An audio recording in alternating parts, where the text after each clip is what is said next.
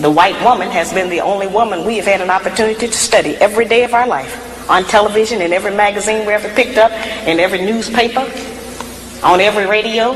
She's been the only model we have had. And if we think that that's not important, then we need to, you know, look at that again.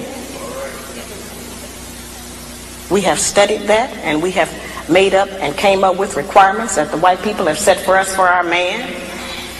And if he cannot come up to those requirements, then we have decided that he is impotent and unable to be our man because he's disqualified, because he does not qualify by the standards that the white people have set up.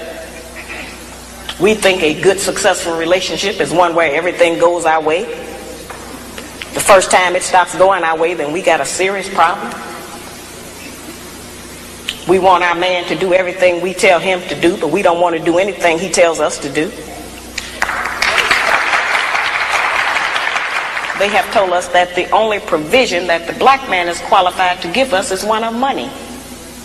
And we have made finance the major uh, focus of our relationships with them. We have made the one thing that most of them don't even have be the criteria. We have been taught that if they do not give us money, that we are not to even allow them to be a father to their child. We have been taught that if he does not give us money, then he is not qualified to tell us what to do.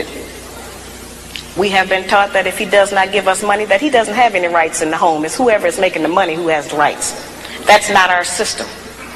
The black man provides more in a black home than just financial support. He provides direction, guidance, gratification, fulfillment, and discipline for our children.